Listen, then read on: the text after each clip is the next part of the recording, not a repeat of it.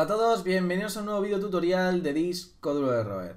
Hoy vamos a hacer un ejercicio que ya comenté la última vez, que es básicamente añadirle a nuestro proyecto de, de Binary Ser Tree, añadirle para, para poder añadir eh, nuevos elementos. Básicamente va a ser el típico añadir. Bien, lo vamos a hacer de dos formas. Lo vamos a hacer... Em, lo vamos a hacer... Uno va a ser recursivo y otro va a ser iterativo.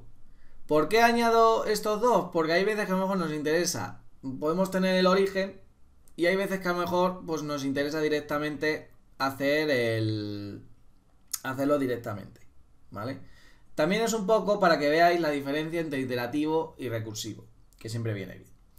Bien, vamos a añadir, vamos a hacer el del recursivo primero. Voy a ponerle public void. De momento va a ser void. Si vemos que estaría bien devolverle el nodo que creamos, pues le pondremos... Eh, pues le ponemos lo que viene siendo que devuelva el nodo. Bien.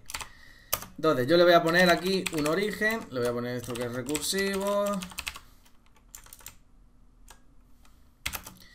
Recursivo. Y aquí le voy a poner T elemento. Bien. Primera cosa.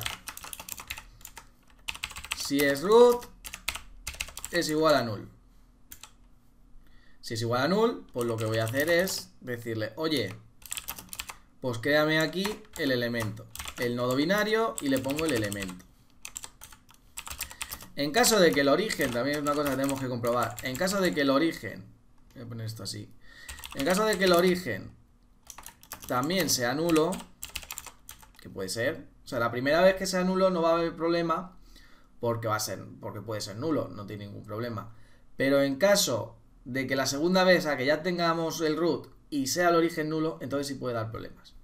Entonces vamos a poner aquí un system print y vamos a poner que el origen es nulo. Esto es más que otra cosa es para protegernos.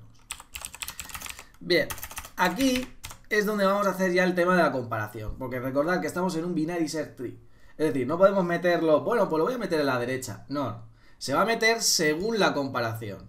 Se va a meter a la derecha o a la izquierda. Bien, tenéis que tener una cosa muy en cuenta. Y es que los elementos que tenemos ahora mismo, es decir, el AT, no tiene el compare to. No podemos comparar elementos ahora mismo. Entonces, tenemos que hacer una cosa muy importante y es esto. Extends comparable y le ponemos la T. Esto, pues, vamos a hacer lo mismo al nodo árbol binario. ¿Y qué va a pasar? Va a pasar lo siguiente. Elemento, compare tú. Ahora sí lo tenemos. Recordad que si estáis usando alguna clase o lo que sea, necesitáis hacer vosotros mismos el compare tú. Si es un integer, un string, eso ya viene hecho. Bien, vamos a hacer lo siguiente. Si origen punto get element punto compare tu elemento, si esto es mayor que 0, lo que vamos a hacer es irnos a la derecha. ¿Vale? Bueno, no, no, perdón, irnos a la izquierda. Voy a explicarlo bien, porque esto puede confundir. Origen get elemento, vamos a suponer vamos a suponer que tenemos el root. Vamos a suponer que el root es un número que es un 8. Vamos a suponer. Entonces, claro, yo quiero meter un 4. ¿Vale? Si yo quiero meter un 4, eh, va a llegar aquí donde estoy ahora. Y va a hacer, vale, origen get element. Vamos a decir, como he dicho, que es el 8. Origen es el padre, que en este caso sería el root. Digamos que eso que tengo seleccionado es el 8. Ahora dice, compare tu elemento. Elemento hemos dicho que es el 4. Yo quiero meter un 4. Eso es como decir, ¿8 es mayor que 4? Sí. Para que veáis como si fuera un número, ¿vale? Es decir, va a dar un número mayor que 0, que quiere decir que es mayor. ¿Qué quiere decir eso? Que el 8, que es el root, eh, el elemento que voy a meter es menor que él. ¿Vale? Porque el 4 es menor que 8, ¿vale? Es como si pusierais elemento punto compare tu origen .getElement y ponéis menor que cero. Es lo mismo. Entonces, nosotros ahora nos vamos, es decir, es como que ese elemento lo quiero meter a la izquierda. ¿Vale? Entonces, lo que yo tengo que comprobar es decirle, oye, tu, tu izquierdo existe o no existe. Eso es básicamente, ¿está o no está? En el caso de que esté, que es lo que estamos haciendo ahora, tenemos que hacer una llamada recursiva. Es decir, pues ahora lo que hago es llamar de nuevo a este método, por eso es recursivo, y le digo que ahora el origen, el origen es el nodo que está. Vamos a suponer que está 8, 4 y yo quiero meter un 2. Entonces se metería aquí, dice, este ya existe, y entonces uso este como origen. Digamos que es como que vuelve a empezar y coge el origen como si fuera el 4. ¿Vale? Esto es recursivo. Esto lo vais a ver en grafos, en árboles, etc. Vale, le pasamos el elemento. Vale, ¿y qué pasa si no hay elemento? Vamos a suponer que está el, el root, que es el 8, y ya no hay más. ¿Vale? Entonces lo que tendremos que hacer es, pues crear el nodo. Yo voy a crear el nodo. Es igual al nodo binario tal y le voy a pasar el elemento. Básicamente. Entonces, el nodo le voy a decir, vale, ¿quién es tu padre? Tu padre es origen. El origen. Muy importante. Y ahora le voy a decir, oye, origen, ¿quién es tu... ¿Quién es tu... Tu izquierdo? Pues es el nodo. Digamos que voy enlazando. ¿Vale? Voy enlazando tanto por la parte del, nodo que tengo actual y del que he creado. Vale, entonces, esto en el else es básicamente lo mismo, pero en vez de get left, pues get right. Una cosa importante, eh, si queréis, porque ahora mismo seguramente a lo mejor alguien se lo está preguntando, ¿qué pasa Sí. ¿Qué pasa si, por ejemplo... Eh, si, por ejemplo... Mm, vamos a suponer, he dicho, root 8, ¿no? Si yo meto otro 8, ¿qué pasaría? En este caso, se metería a la derecha. ¿Vale? El primero, el primero a la derecha. Normalmente, vais a ver que no se repitan, normalmente. Pero si vosotros queréis que vaya hacia un sitio u otro, lo único que tenéis que poner lo del mayor igual, porque al final eso lo tenéis que decidir vosotros, si queréis que vaya a la derecha o a la izquierda, porque no lo podéis hacer o podéis obviarlo. Yo tampoco lo obviaría, porque sería eliminar información. Mm, yo más bien lo que haría es eso, o meterlo a la derecha o a la izquierda. En este caso, en este caso sería la, la derecha. Pero bueno, que si queréis que esté a la izquierda, pues le ponéis mayor igual y ya está. ¿Vale? Eso no es el problema. Bien. Este sería el recursivo. Recursivo. Si queréis que devuelva, vamos a hacer que devuelva. Porque bueno, si luego no queremos hacer nada, pues bueno, tampoco pasaría nada, ¿sabes? Si luego simplemente lo llamas y no lo coge, lo que devuelve y ya está. Bien, vamos a hacer una cosa, voy a poner esto aquí.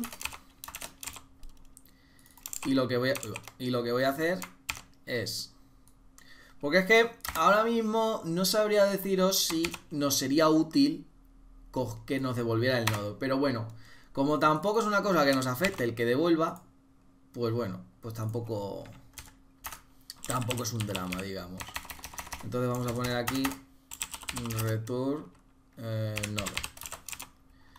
Y vamos a poner seguramente que nos diga que lo tenemos que inicializar. Vale, vamos a ponerle format y ya está. ¿Vale? Bien.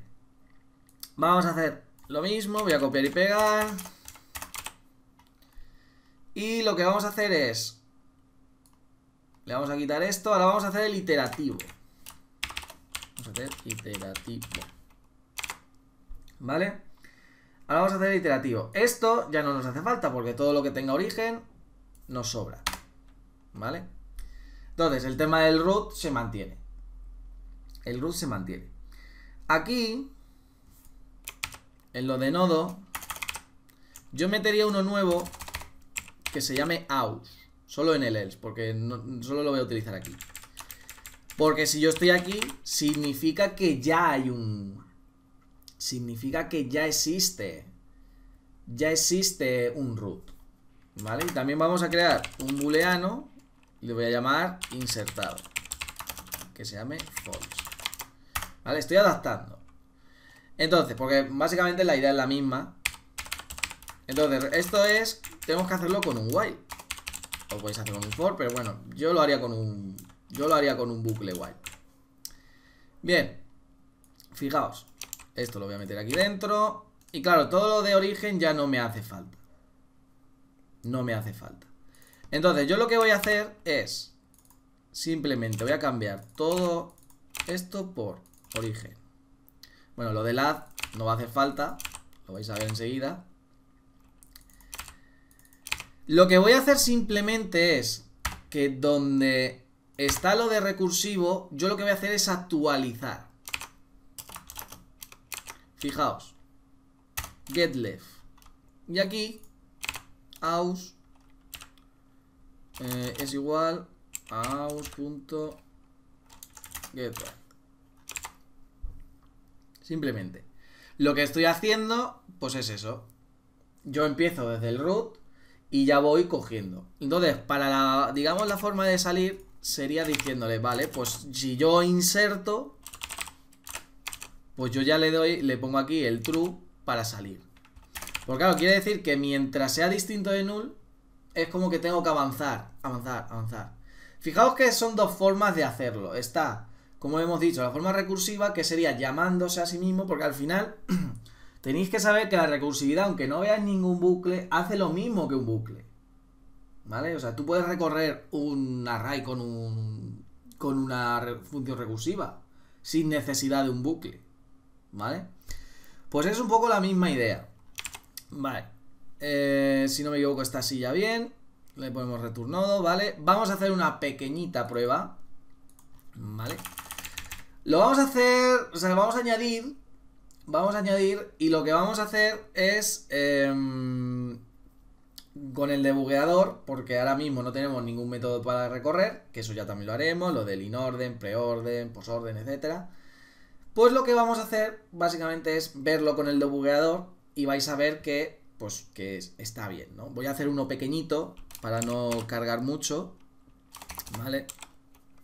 Vamos a ver, tenemos el binary tree, le vamos a llamar árbol, es igual a new binary tree, tal, vale.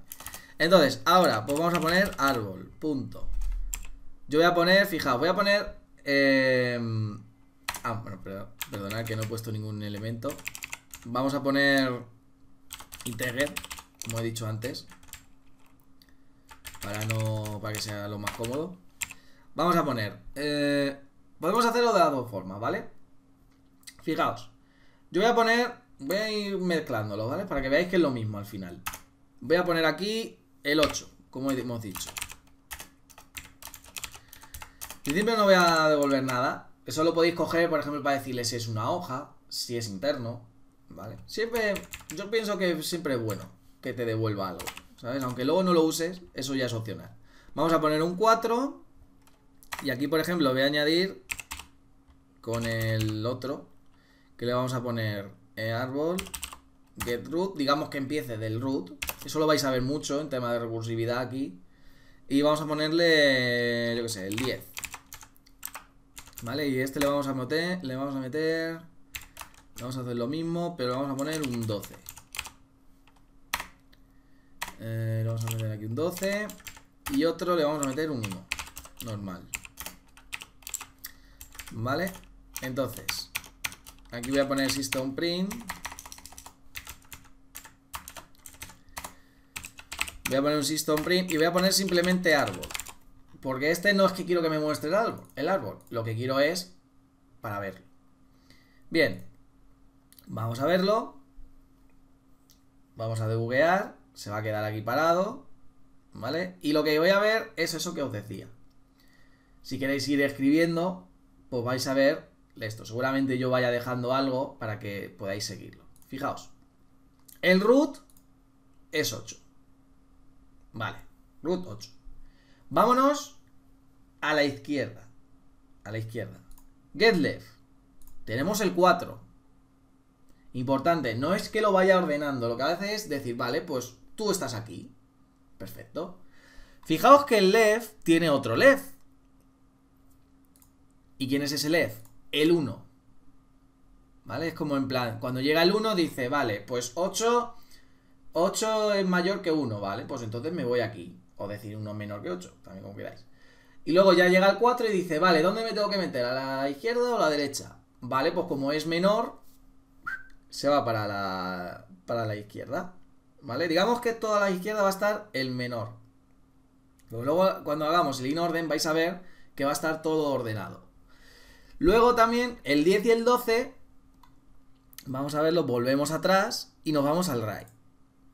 Fijaos, el elemento, el que está después del 8 es el 10. Y fijaos que no tiene izquierdo. ¿Por qué? Porque ¿dónde se ha metido el 12? En la derecha. Porque está, digamos, 8, 10 y 12. Seguramente haya dejado algún dibujito por aquí y lo vais a ver mejor. ¿Vale? Si por ejemplo metiéramos un 9, estaría en la izquierda del 10. ¿Vale? Digamos que siempre, es, siempre va a buscar eso, el, el ponerse en orden. Para que lo veáis así y si vais contando vais a ver que todo está en orden. ¿Vale? Eso lo explicaremos con más detalle en el próximo vídeo. Pues simplemente esto, habéis visto añadir recursivo y añadir iterativo. ¿Vale? Ya con esto ya tenemos algo más en nuestro proyecto. En el próximo vídeo lo que vamos a hacer es eso, los recorridos, que son el inorden, el posorden y el preorden, que los explicaré brevemente. Son muy parecidos, ¿vale? Son muy, muy, muy parecidos. Cuando cojáis uno vais a hacer copia y pega y modificar cuatro cosas, bueno, dos cosas o menos.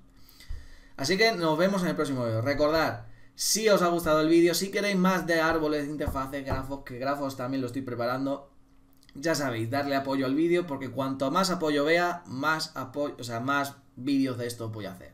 Así que nos vemos en el próximo vídeo. Adiós.